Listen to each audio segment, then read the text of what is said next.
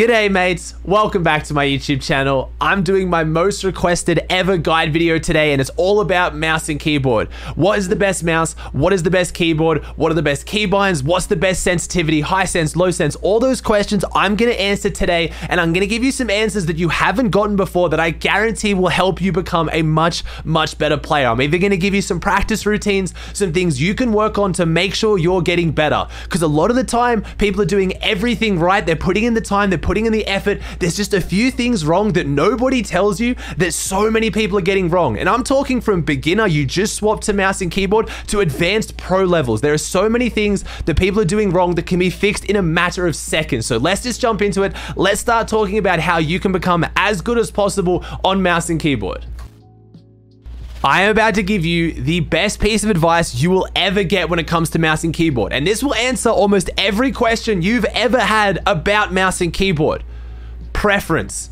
There is no one best keyboard. There is no one best mouse, best switches, best sensitivity, best keybinds. It is preference. I'm going to give you some optimal keybinds, some of the better keyboards, some of the better mice, but at the same time, if something works for you or something works for you that doesn't work for your friend, that's okay. It is all preference. And this is where I see people go wrong from the very, very beginner to even the absolute best pros when they always think that just something is the best and they try to change things when things don't work or they try to change to what their friends friends are doing. Sometimes it is just the best for you and that's okay. So before I talk about the keyboard, the mouse, the keybinds, I'm going to talk about what is optimal and what's best to start with. But you have pros out there like Stretch, who are some of the best players in the world using function keys. If you don't know what function keys are, they're the keys at the very top of your keyboard, F1, F2, F3, and F4. And he's not the only one. There's heaps of pros. There's Mitro, there's Avery. So if they can be that insanely good on those keybinds, I'm going to explain why and what must muscle memory is versus optimization. So maybe you don't have to change everything and maybe that's your problem. You've been changing too much. So let's start talking about what are some of the best things you can be doing?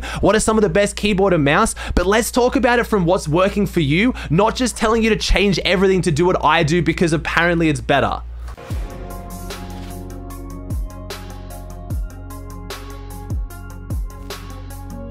Let's start off with the hardware first. Let's start off talking about keyboard and mouse. Now, my opinions of this are gonna come from me using a whole bunch of different keyboards, a whole bunch of different mice, and talking to so many different pros and experts when it comes to what's the best keyboard, what's the best mouse. Now, again, we're gonna be talking about this from the point of preference. There are some that are better than others, and the higher quality does normally get you a better keyboard and mouse, but when it comes to certain aspects, they are just preference. So let's start off talking about a keyboard. Now, when it comes to keyboard size, again, this is preference for a few few reasons though. You can get a full size keyboard, you can get a TKL, which is 80%, or you can get a 60% keyboard. Now, most of this is just how much room do you want on your desk. If you're a lower sense player, and again, that's not better or worse than high sense, I'll get to sensitivity later. If you're a lower sense player, it might be worth you maybe getting a 60% keyboard so it takes up less room on your desk, so you have more room to move your mouse. That's one of the main reasons why you get a different size keyboard. But for the most part, again, just preference. Get the one that you like. Maybe you do a bit of video editing. Maybe you want the delete keys, the arrow keys. You don't want to go all the way down to a 60%. Maybe you like just having a bigger keyboard. It doesn't really matter too much. The main component of the keyboard that's going to make the biggest difference is the switches. Now, the switches are the actual mechanic inside the keyboard that registers when you press the key in. Now, these work insanely differently on a whole bunch of levels. So you've got so many different types of switches and so many people will tell you, oh, Reds are the best switches. Cherry MX Reds. Nah, Cherry MX Browns are better. Silvers are better. No, I really like clicky blues.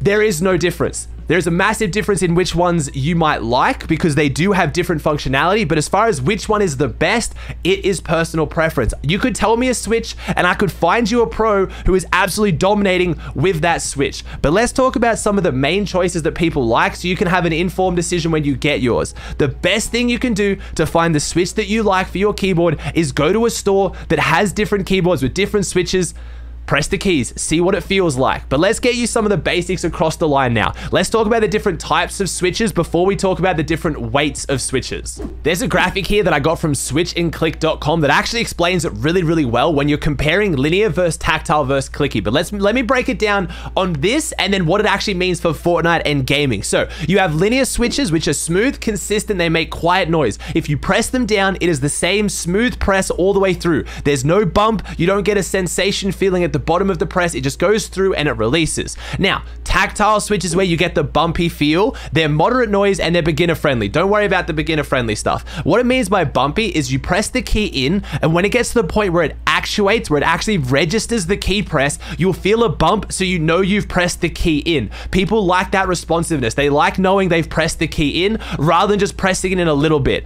Then you have clicky, which is bumpy. Again, don't worry too much about that. Loud noise, beginner friendly. Don't worry about that. So the main differences are linear, you press it in really, really fast. It goes in fast. It comes out fast. There's no sensation feedback. The only problem is it means you're easier to fat finger it, which means you're easy to press your keys by accident. So if you're someone who maybe has a tendency to already fat finger your keybinds a little bit, which I mean, like say you're trying to, let's say you have your stair on V and sometimes you quite often press C or you press V without even trying to because you're just having your finger resting on it and you accidentally press it in. You might be better off with a tactile or a clicky switch because tactile, you can press it in, but until you press it far enough in, until you get it to the actuation point, it won't register the click. Now, clicky keys are very heavy keys that you have to press really hard to go in to get them to come back out. That's why they're so loud. So again, there is no preference. There's no actual better uh, switch in there. It's all preference. You've got players like Mongraal who love to play on uh, clicky keys. That's why his keyboard is so ridiculously insanely loud. But then you've got people who love playing on linear. I would say linear is probably the most popular, the linear red switches. I use Cherry MX Reds myself. I like them because even though I am a bigger guy, I got heavy hands, I like to be able to click things as fast as I possibly can, but I do have a tendency to fat finger a little bit. So I do actually have a Razer Huntsman as well that doesn't have uh, red switches. It has blue switches. Sorry, purple switches, and they are very, very clicky and they are very hard to press in. So I don't fat finger things as much, but the trade-off for me is I just can't build or edit as fast. I can't seem to press them in quick enough to get them to register, and I'm a streamer. They are way, way too loud for me. But all I wanted to get across from that is whatever keyboard that you buy, it's personal preference. Find one that you like, potentially go into a store, try one out, try your friends, see how you go, and then decide off that. Just because, you know, Bugha uses a Cherry MX Red, but then Mong Mongraal uses a uh, Cherry MX Blue doesn't mean either one's better. Find one that you like that fits your playstyle, but just be informed on how it works so you know it can fit your playstyle before you buy the wrong keyboard. The last thing to mention on the switches is the actual brand of switches does matter. Cherry MX is usually most people's go-to as some of the best key switches out there for a good price. You do have other switches like Gateron's. If you guys have watched Jerian's video, you know he loves his Gateron optical switches on the GK61. So you can go all kind of crazy like that, but just watch some reviews, make sure that you're not trying to go too cheap on the keyboard because sometimes even though it's a mechanical keyboard, if you're getting it somewhere cheap like a supermarket or something like that, if it's like 20 bucks, the mechanical switches aren't going to be great. It is worth spending a little bit more, but at the same time, going all the way up on the top end, like getting the Apex Pro TKL that's like, you know, three, four hundred dollars just so you can change the actuation point. I don't think that's worth it as well. You can find plenty of phenomenal keyboards for around $80, like the GK61. You can find other great keyboards for around 100 I love HyperX. I use a bunch of HyperX keyboards. Again, I'm sponsored by HyperX, but I don't have to say their keyboards are great. I choose to use them. I got a Razer Huntsman TKL. Again, that keyboard was phenomenal, but it didn't have switches that I liked because I tried out Clicky and found out I don't like Clicky. So again, find a keyboard that's decent build quality with good switches and find the switches you like. Before I get into keybinds and sense that's coming next, last thing is obviously the mouse. Now, this is where it gets really weird for me on Fortnite. The trend is to go lighter and lighter and try to find the lightest mouse you possibly can to the point where if you squeeze it too hard, it's going to crack under the weight. I'm not saying light mice are bad, but I'm going to say this again. It's preference. Just comment preference down below for the meme of it. Let's just do a count going, maybe count how many times I say it in this video. But at the same time, with the mouse, you really want to find one that fits the grip of your hand, then go for weight. There is no point having the lightest mouse ever if it doesn't feel nice in your hand. People don't even realize if you've just gone into mouse and keyboard, there's a whole bunch of different mouse grips. I'm not going to go into detail on that today. You can look up other videos on YouTube. I'll put one in the description down below that I used to watch that I find phenomenal, but you can hold a mouse differently and depending on the shape is going to affect that. I've got rather large hands. I've got to move my, my bungee. I've got rather large hands, so I like to use a Razer Death Adder because it's quite a big mouse that fits really nicely in my hands. I did go for a lighter mouse. I got the new HyperX Ultralight to try it out. The mouse shape felt really good. Same with the Glorious Model D. I tried that out as well. But for me, I always go back to the Razer because I have a bunch of muscle memory having used it. I hold it comfortably and the side buttons feel nice. So if you found a mouse that feels nice for your hand, don't worry too much about the weight. Don't worry if it's too light or too heavy if it feels good for you. Again, I can find pros that are out here on mice that weigh like 40 grams. I know the new ultralight is ridiculous. Everyone's going crazy for the final mouse. Or I know pros who are playing on absolute bricks at over 120 grams who are still insane. The main thing is if you have to really get like a basic trade-off, the lighter your mouse, the better your editing and building is usually going to be because you can flick faster and it's a lot more responsive and faster to move. But quite often your aim will struggle. If you're finding your aim is really, really inconsistent, there's a good chance the light mouse is what's doing it to you. Because if you don't have the weight of the mouse to evenly slide, if you're tracking someone, you can really only hit flick shots because you're you're whipping it around so quickly, especially if you're on high sense. But the reason why you might be struggling a lot with your tracking or your consistency with your aim is because your mouse is too light. But again, personal preference. Find one that works for you. Go to a store, pick up a few different mice, play around with them, try to find one that fits your grip, that feels nice with the weight, and then the next thing is test the side buttons and test the scroll wheel. So many mouse mice I've had feel amazing. The Viper Ultimate was great. I love the wireless feature, but the side buttons were way too small for me, so I couldn't use it. Again, some pros love that mouse. They're phenomenal with it preference. We've gone through the hardware. We've talked about the keyboard. We've talked about the mouse. You guys are hopefully not more confused in the start of the video. Hopefully you can figure out what you want to go buy, even though I haven't given you a bunch of recommendations. I've just told you to find what works for you. But let's talk about keybinds and let's talk about sensitivity now, because this is a big one as well. And again, guess what? It's preference. This is the main thing that I see go crazy wrong with a lot of people. I see so many pros or so many players when they feel like they're having a slump, they're plateauing with their skill, and they change all their keybinds. I've seen so many pros change their whole keybinds. But you know what? More often than not, the pros switch back. And this is what blows people's minds. I know, again, people are probably gonna start commenting Jerian in this one. I love Jerian. Jerian's the homie, and I love his optimized videos. And again, if you're starting out on mouse and keyboard, finding optimal binds and changing it is phenomenal. But even Jerian In his most recent video, talked about how certain binds he wish he had, but he's too far gone. And this is what I kind of want to explain. It's a concept I want to talk about. It's muscle memory versus optimization. So, yes, if you could take the best player in the world and give them optimal keybinds and they had the thousands of, tens of thousands of hours they have of muscle memory on those binds, yeah, they might be a little bit better. But if you take them and you switch their binds a month ago and now they're on optimized binds, but they don't have the same level of muscle memory, they're not going to perform as well, especially in the moments like big tournaments, games that matter to qualify when you're about to make earnings. The games that really matter is where muscle memory comes out on top. And this is where I reference people like Stretch, like Mitro, some of the best players in the world who play on function keys. The reason why that works is because their muscle memory of how many thousands of hours they've spent on those keybinds trumps them switching it to other keybinds and relearning them. You've got freaks out there like Martoz who can relearn his entire keybinds with a joystick keyboard. That's insane, but for most of us, it's worth finding binds that work well enough and then grinding them out. So just because you hit a plateau, just because you hit a point in your gameplay where you feel like you're not doing the best, don't just change all your keybinds. Maybe change one or two that are a little bit unoptimal and go from there. Now, if you are new to mouse and keyboard though, and you have the luxury of starting off with optimal binds, the main thing you want to focus on when making your binds is keeping your fingers on your movement keys at all time. So you should always have your fingers on W, A, S, and D as often as possible, which means that you want to usually try and put two builds on your mouse button. I would recommend wall 100% because it means it makes taking walls and moving around when you're tapping or protecting really important. Your your wall bind is your most important bind. Then after that, a lot of people say stair.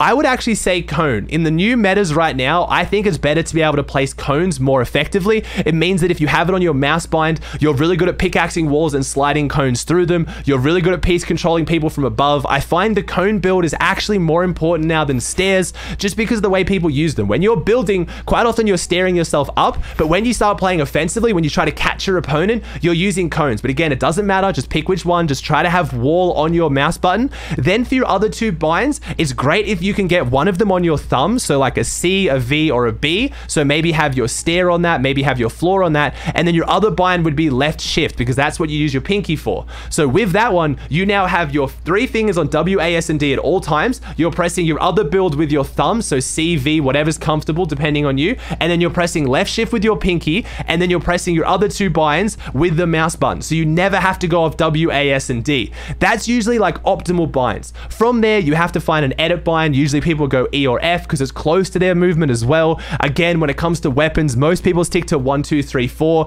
They might throw in Q or R or some of the other binds that are close, F for pickaxe, things like that. But again, those are all kind of just preferences of what you can do to make it optimal. But if you're close enough, let's say like me, for example, I wish I didn't have this, but I have, I actually have floor on my mouse button, which is not great. I wish it was wall. And then I have a weapon bind on there. I would ultimately like to change that, but the amount of muscle memory I have, if I changed it, I would have to play for months and months. And I don't even play that much. I'm a commentator and it's still not worth it for me. The amount of pros I've reached out to who are like, look, unless your binds are absolutely terrible, and even then, your binds can't get much worse than function keys. When I talk about, you know, oh, having movement at all times, Stretch has to reach his, his finger off his movement all the way up to F1, F2, F3, and F4 to build. And he's still one of the best players in the world. It just shows that the binds you have now, unless they are absolutely abysmal, it's probably worth sticking to them, grinding them out rather than trying to change them. Unless maybe you're someone who picks up new binds really easily, but most of us just don't.